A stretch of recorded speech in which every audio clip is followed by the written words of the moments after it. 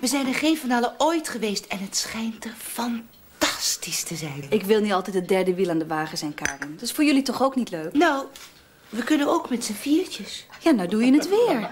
Wat? Koppelen. Je zit weer te koppelen. Nee, maar Willem heeft die vriend. Een vriend van Willem? Ik heb het toch goed als ik zeg dat het een vriend van Willem was die mij op het stadhuis heeft laten staan? Ja, En die acteur met dat meer dan levensgrote ego? Dennis D. Wil je die naam niet meer noemen? Dat was toch ook een vriend van jou, Willem? Ja, ja, maar... Vinden jullie twee niet genoeg? Of moet ik eerst je hele vriendenkring afwerken? Hè? Nou, het is niet precies een vriend van Willem. Hij heeft hem ontmoet in het ziekenhuis. Een patiënt. Een patiënt? Ah, welke afdeling? Wat? Je hebt me wel verstaan. Geriatrie? Psychiatrie? Huidziekte? Eh, Nou, het, het was een, eh, een, een, een kleine ingreep. Ja. ja, we raakten aan de praten. Hij is nogal eenzaam, Pam. Eh, Zijn vrouw is een paar jaar geleden opgestapt. Ah, en daar komt u nu pas achter. Ah, licht dement. Nee, maar zoals Willem hem beschrijft, is het wel jouw type. Je bedoelt hij ademt nog? Een oud militair, Pam. Een oud militair? Wat moet ik nou met een oude soldaat? Als ik een oude soldaat wil, dan ga ik wel langs in Bronbeek. Of is die uit Bronbeek? Het is een gepensioneerde officier. Kapitein Friesekoop. Ja, eh, Buster. Buster? Buster Friesekoop. Ja. En Willem zegt dat hij van een hele goede komaf is. Ja, uit Bronbeek. En hoe oud is die? Jij verzwijgt iets voor mij, hè, Willem. Eh, Buster? Buster, die, Buster is eh, nou, eind... eh, Eind 19e eeuw? Eind gotisch? Eind was het Latijn? Eind wat, Willem? eh, eind 50. Maar Willem zegt dat hij nog heel vief is. Oh, als mensen zeggen fief, dan bedoelen ze... kan nog zonder hulp naar de wc. Nou, hij heeft een foto meegegeven, Oh, ja. Kijk. Zo. Dus dat is Buster. Ja. Die stok, heeft hij die altijd? Nee, dat is vanwege de Wat? granaatscherf. ja, vandaar die operatie, hè? Ja, begon ineens te zwerven. En dat oog? Welk ook? Achter die lap? Eh, verloren. Waar? Nou, toen die heuvel 619 afliep. Nou, dan weet je wat dat betekent, Pam. Fikse uitkering van de reisverzekering? Nee, dat het een held is. Ik moet geen held. Nou, en hij moet geen echtgenote. Hij wil gewoon iemand om eens lekker mee te gaan eten. Een, een, een behoorlijk gesprek voeren. Hij wil echt niemand voor het lapje houden, hoor. Ja, ik zeg niks, Karin. En ik weet zeker dat het heel aardig gezelschap is. Veel om over te praten. Het is echt een moedig man, Pam. Het minste wat je kunt doen is hem een keer ontmoeten. Kan ik niet gewoon wat geld geven aan het Fonds voor eh, Oorlogsslachtoffers? Ja, als jij zo blijft, dan ontmoet je nooit eens iemand. Zeg jij nou eens wat, Willem? Ja, ja Pam, hij, hij wil alleen maar met iemand uit. eh, verder niks. Hij, hij wil je gewoon mee uit eten nemen. En, en, en, en Buster, Pam, Buster, Buster, die... Die plaatst vrouwen echt op een voetstuk. Echt. Een voetstuk? Goh, dat is lang geleden dat ik daarop gestaan heb. Nou, wat vind je? Zou die eerst ook een foto van mij willen zien?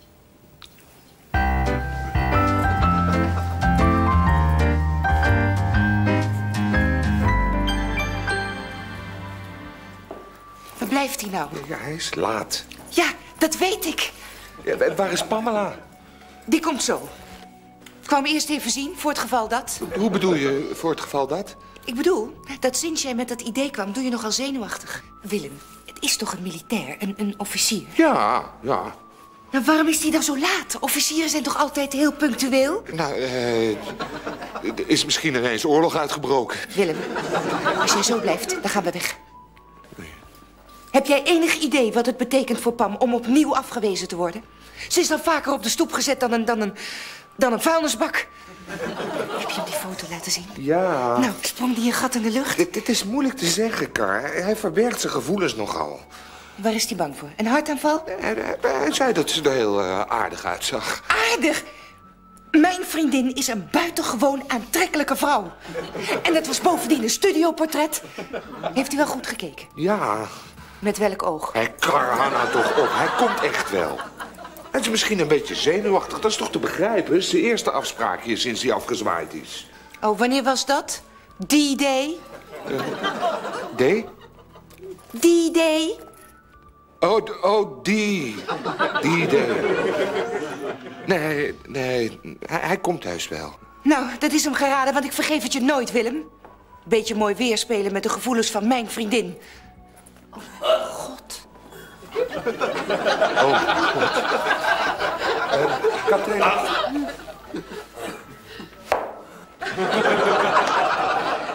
Kapitein Vriesekop, mag ik u voorstellen... Mijn goede mevrouw, u hebt uw haar veranderd. Wat? Eh, De foto doet u geen recht.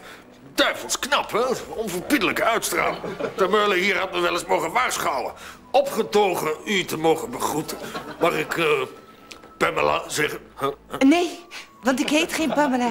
Ik ben Karin, aangenaam. Zij hoort bij mij. Donders, excuus, hè? Zo onvergeeflijk, dat had ik kunnen weten. Schitterende verschijning, ja, het zat erin. Wat zat erin? Meteen ingenomen natuurlijk, hè. bezet gebied. Oh, nou, maar Pam ziet er ook heel goed uit, hoor, ja. Op haar manier dan. Ik zou graag met u over haar willen praten, kapitein. Buster, zeg maar Buster, dat doet iedereen. Voordat ze eraan komt. Ah, stafbijeenkomst, palaver, dorstig werk, hè? Eh, Gin en Teunig Walters, roep de herbergier ter meulen.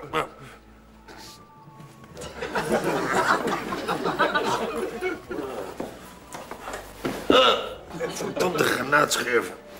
Nou, ziet u, eh, we zitten heel erg over Pamela in. Ze heeft een vreselijke tijd achter de rug. Half woord, geen vragen. Heb ook geleden. Ja, Willem heeft het verteld. U bent ook Wat? gescheiden. Absoluut. Wilt u erover praten of is het nog te pijnlijk? Overeen, einde oefening, zware slag. Wat is er gebeurd? Uh, kwam terug van een cursus, riep ik ben thuis gehad. Wat denk je? De vijand dondert door het slaapkamerraam. Zonder tenue. U bedoelt zo... Blotemans. Ik ren de looppas achteraan richting Vlaggenmast. Ik krijg hem in het vizier. De kolonel. Volledig abject gedrag. Onmilitair. Ja, eh, nee. Wegpromotie, denk ik. Dus ik rechtsomkeert de mes in. Drie dubbele gele rakker in mijn mik. Kom thuis. Zij weg. Mist u er erg? Zit erin, hè? Steentje in je schoen. Je gooit het weg. En je mist het. Niettemin. Streep gezet. Eh, ja, nou, dan weet u wel wat Pamela heeft doorgemaakt. Ze is zo aan vastigheid toe. Zoek niet verder. Haal de honden terug. Oud-militair, maar loyaal. Alles meegemaakt. India, Korea. Ik heb mijn portie vreemde dingen, vreemde luchtjes, vreemde parang achter de rug. Nu, aanvang rustigheid. Slof aan, pijpje roken, stukje jagen, potje vissen, goede vrouw. All in man. Nou, we moeten de dingen niet overhaasten, hè? Correct, eerste verkenning, essentieel. Niettemin, als ze even overweldigend is als de vriendin hier... Hè? Nou, ik, ik ga maar even kijken of ze er al is.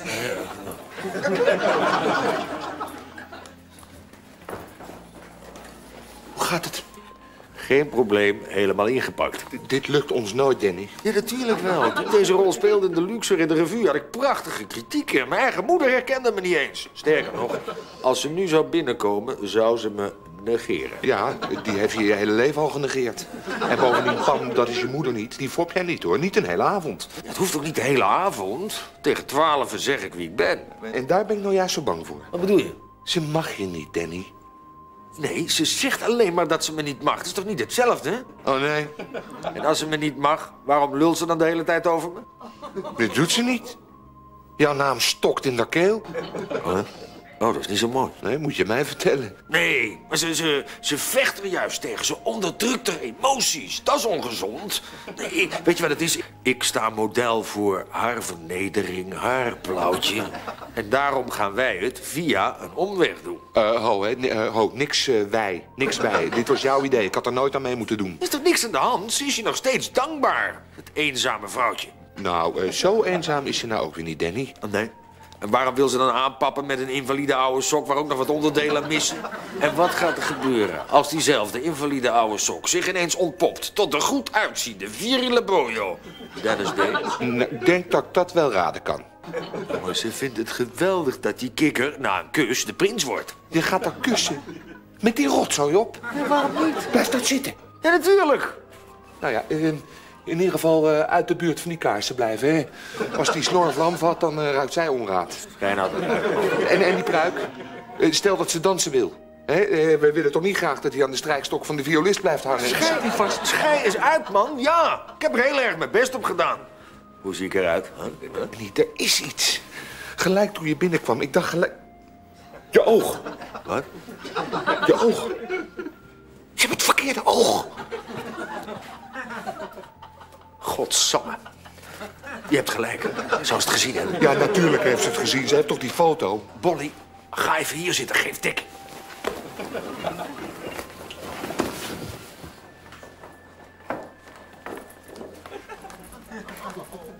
Pamela, dit is kapitein Vriesekoop. Noem het toch Buster. Pamela, Ravissant. beetje opgeknapt? Opgeknapt. Na de operatie? Operatie. Van de granaatscherp. Ah, ja, ja. Wat eh, gewicht verloren, een pondje kopen. Ah, ah, ah, ah. Sorry, soldatenhumor. Trouwens, altijd gedacht dat die eh, mortier me gemist had. Een mortier? Korea, tegen een berg geplakt, hinderlaag. Ach, is voorbij. Oh, wat verschrikkelijk. Ben je gek? Daar kwamen we toch voor? Maar ja, meer gaat in mijn body dan moedertje natuurlijk bedoeld had, hè? Een mooi slagveldje. Korea, Suez, India, de hele reut, been onder de trim. Maar ja, vitale delen die leven nog, hè? Termeulen, laten wij eens op de kaart afgaan. Eh, hapje, kerel, hè? Mogen we even?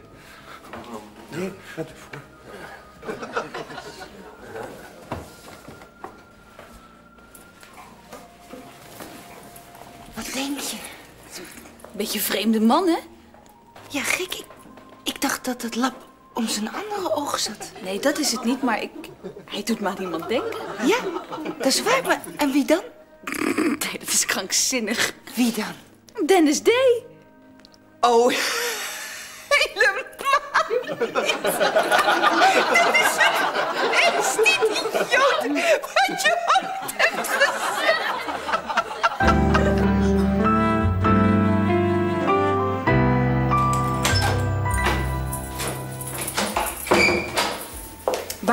je ingeluisterd, Karin? Nou, ik dacht dat je hem leuk zou vinden. Hij is van een heel goede komaf, Pam. Goeie komaf. Hij ziet eruit alsof hij van een slecht patroon is gebreid. Hoezo? Pruik. Pruik. Ja, heb je het niet gezien? Iedere keer als die ober over hem heen buigt, dan houdt hij zijn haar vast. En weet je waarom? Omdat zijn haar anders binnen de kortste keren achterstevoren zit, daarom. Nou ja, een toepetje is toch niet zo erg? Dat zeg ik toch ook niet? Hij zal er wel over in zitten. Ja, ik ook. Ik kan me ogen er niet van afhouden. Hoe zou hij eruit zien zonder? Hm? Kaal, denk ik. Nou, als hij je beter leert kennen, dan zet hij hem wel af. Ja, daar ben ik ook bang voor. Maak jij nou niet te veel stennis over een haarstukje, Pam? Het gaat me niet om die pruik, maar waarom doet hij dan niet helemaal? Hoe helemaal? Nou, ze hebben tegenwoordig hele goede kunstogen, hoor. Waarom moet hij er dan bij lopen als een of andere piraat? Dat oog is gevallen voor het vaderland, Pam. Ja, dat weet ik. Het is ook meer zijn andere oog, hoor, waar ik echt over in zit. Wat dan? Dat goede oog, dat kijkt dwars door me heen. Echt? Ja, alsof hij zich zit af te vragen of hij me frontaal zal nemen of vanuit de flank. Ben je gek, Pam? Die oude knar. Ja, ja, oud, maar ondertussen. Wat ga je nou doen? Ik maak een tactische terugtocht. Voordat hij me ook nog zijn littekens laat zien.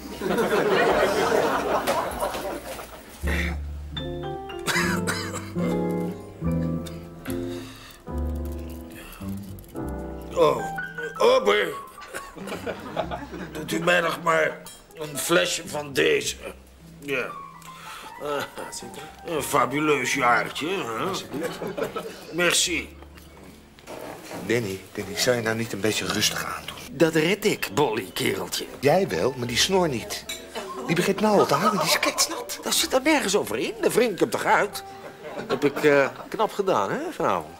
Eh, Het is er ineens. Nou, nee, nee, maar ik, ik, ik dacht dat een held eh, zweeg en eh, bescheiden was en onopvallend. Maar jij houdt je bek niet. Ah, eh, jij denkt dat het er iets te dik bovenop lag. Ja, ja, nou kijk, dat verhaal van hoe jij zes Noord-Koreanen de loopgraaf uitdreef... in je eentje, gewapend met een kapotte bierfles... Ja, dat, dat was misschien een beetje dik, ja. En dat je toen ook nog twee zwaar gewonden door het mijnenveld gedragen hebt. Op elke schouder één, onder vuur. Ja, ik weet het niet hoor, Danny, maar die meiden zijn niet gek. Dat is het hele punt, Bolly. Ze moeten hem ook niet geloven. Wat? Nee, ze moeten denken, wat een vervelende oude opschepper is dat. zeg. Wa- waarom? Stel je Pam er opluchting voor als ze merkt dat ik het ben. Ja. Op de hoeve ter Meulen. Er zijn de dames. Oké, je bent dan wel geen officier, maar probeer een beetje mee te doen, kerel. Pam, eh, nog een glaasje wijn? Ik niet meer, nee, dank je. Karin? Ik zeg geen nee. Danny? Danny. Wat? Je zei Danny, Willem. Ja. Ik zei Danny. Ik dacht dat ik hem zag. Daar. Nee, toch niet. Heb ik me vergist. Eh, stom. Die komt hier toch niet? Te chic. Wat? Is veel te chic voor Dennis. Nee, het is te duur voor Dennis. Hij is te zuinig om hier te gaan eten. Wie eh, is die Dennis? Oh, iemand die achter Pamela aanzit. Een gesjeest acteur. Ja, een totale flop. Flop. Ja, misschien ken je hem wel. Dennis D. van jaren geleden. Ach, Dennis D. Ja, altijd wel een goed acteur gevonden. Oh ja? Gek, gek, je bent de eerste die dat zegt. Wij vinden hem nogal maf, hè Willem? Maf, Ik niet. jij niet. Maar het is wel een opschepper, hè, Karin? Oh ja. Als hij hier nou zou zitten, zou hij ontzettend zitten patsen en rondklotsen met zijn wijn in zijn glas. Een echte wijnslok. Zo te horen een abject type. Wel toevallig. Want toen Pamela jou zag, toen deed je haar aan Dennis denken. Oh, ja? Ja, op deze gezicht. Ik ben niet zo goed in gezichten. Maar ik zag iets. Ah, geen geheugen voor de postzegel. Happy Harry had het ook. Brits collega van mijn guards. Moedig als een leeuw, hè? Briljant cavalerist, maar kon zich niet herinneren hoe zijn vrouw eruit zag. Zijn eigen vrouw? Totale blank, wat, wat haar betrof. Als ze elkaar ergens wilden treffen, hè, moest zij altijd die grote hoge hoed op, zodat hij wist wie het was. Dat is de enige manier, hè? Moest hem altijd dragen. Zelfs in bed. Wat een vreemd verhaal. Niet waar? Eh, Karin, zullen wij eh, even dansen? Ja.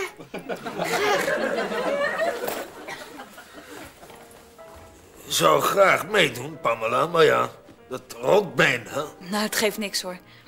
Echt niet erg. Nou, iemand wat jonger zou geen moment geaarzeld hebben. Ik zag je met je voet tappen. Dat is niet vervelend. Nee hoor, ik praat liever wat met je. Om je de waarheid te zeggen, Buster, ik... Wat is eigenlijk je echte voornaam? Roderick. Oh, nee, maar echt hoor, Buster. Ik vind het niet erg om naar je verhalen te luisteren. Ja, ik blijf maar denken dat jij meer iemand van je eigen leeftijd nodig hebt, eh, Pamela. Ik ben een beetje uitgekeken op mannen van mijn eigen leeftijd. Ze liegen als je eerlijkheid wil. Ze bedriegen als je vertrouwen wil. Maar jij bent zo niet, dat voel ik. Eh, die, die eh, Dennis D, is, is die wel zo? Erger. Erg? Die doet alles op effect. Dennis de zelfkikker. Kikker. En liegen. Helemaal niet. Wat? Ik bedoelde, dat, dat, dat, kan ik haast niet geloven. Ik kreeg altijd de indruk van een nogal recht door zee. Recht door zee? Hij heeft drie vrouwen gehad. Ik weet dat hij ze alle drie bedroog. Een mens kan veranderen, Pamela. Gek. Dat zegt hij ook. En terecht. Als je eenmaal de ware vrouw hebt gevonden, is een wereld van verschil. En eh, laat ik je maar eh, meteen erbij zeggen dat je waarschijnlijk een veel betere tijd hebt met zo'n jonge, viriele vent dan met zo'n oude knakker als ik. Wat? En ga me nou niet vertellen dat je helemaal niks voelt voor die, die, die, die schobbejak. Ik voel het. Ja, je hebt misschien gelijk. Nou, zie je nou wel. Ik voel een intense irritatie en afkeer. En als hij niet bij me uit de buurt blijft, dan ram ik hem persoonlijk de trap af. Buster, ik wil dat je meegaat naar mijn huis.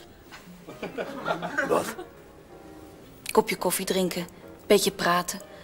Ik weet dat we elkaar pas kort kennen, maar ik voel me erg tot je aangetrokken en ik wil je graag beter leren kennen. Maar beloof me één ding. praat niet meer over Dennis D. Geen punt. Geen woord meer. Dan ga ik nu een hele langzame wals aanvragen. Dat kan je toch wel? Fluitje.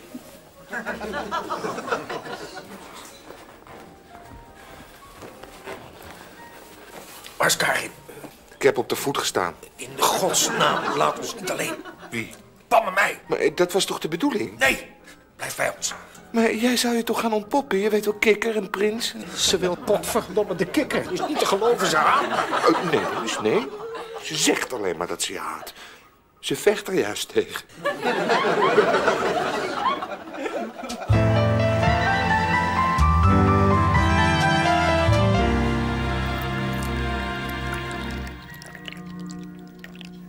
Ik geen koffie meer, Pam. Helemaal bruin van binnen. Hele nacht het bed uit, vreselijk. Een half kopje, Buster. Ik ben blij dat we eindelijk even alleen zijn. Jij niet? Nee, zeker, zeker. Oh, jongen, jongen, wat vliegt de tijd. Het moet gaan. Even dat been rust geven. Man van weinig woorden, niettemin, avond was tops. Ga nog niet weg, Buster. Leg je been even op de bank. Pak wat zandzakken en schuif aan. Wat? We hebben nog zoveel te bespreken samen. Eh, Graag gebleven, Pam. Ongelukkigerwijs geen nachtman, moet in de slaapzak. En bovendien steekt malaria de kop weer op. Malaria? Nieuw-Guinea, blijf bij je. De tanden als castagnetten, of wat. Maar ik heb ook een logeerbed. Nee, nee, een oud officier weet af te nokken. Jij bent niet oud, Buster. Nee, die tijd is voorbij, Pamela. Zoveel kamfer geslikt bij de troepen allemaal om je af te dempen. Werkt nog steeds. Hele libido aan flarden geschoten. Verdomde doktoren, ze moesten ze opknopen. Maar ja, wat? Als jij echt zo oud bent, Buster, waarom doe je dan zoveel moeite om zo jong te lijken? Eh, sorry, ik eh, volg niet. Mag ik je wat zeggen? Ja, Het zit scheef. wat, wat, wat? Je toepet. Bovendien staat het bespottelijk. Waarom doe je het niet af? Nee, nee, dat kan niet. Je hoeft je toch niet te schamen voor je kaalheid? Ik ben niet kaal. Nee, daarom juist. Doe het dan af. Alsjeblieft.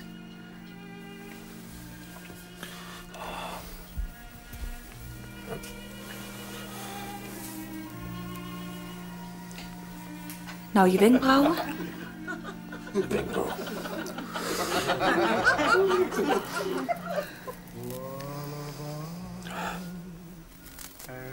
Nou, je snor? De snor. Jij bent het echt, hè, Dennis? Je wist het. Ja. Waarom? Omdat ik alleen ben en bang. En omdat ik niet nog eens een auditie kon verknallen. Nee, ik ook niet. Wat? Ik bedoel... Ik ken het gevoel. Wie, eh, wie kus je nu? Dennis D. Maar waarom? Omdat je zo je best deed. Iemand die dit allemaal doet alleen maar om met mij te mogen eten... dat, dat kan niet helemaal niks zijn. Hoe wist je dat ik het was? Je bent altijd al een slecht acteur geweest, Dennis.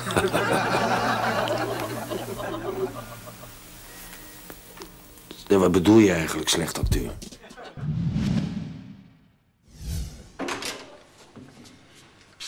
Linda, Oh, Dirk. waar is Bob? Onder de douche. Wat is er? Linda, vertrouw je me blind? Ja, natuurlijk. Ik wil dat je deze tas verstopt, zonder me iets te vragen. Goed, Dirk. Oké. Wat zit erin? Dat is een vraag, Linda. Oh ja. Ja, maar je doet ook zo geheimzinnig.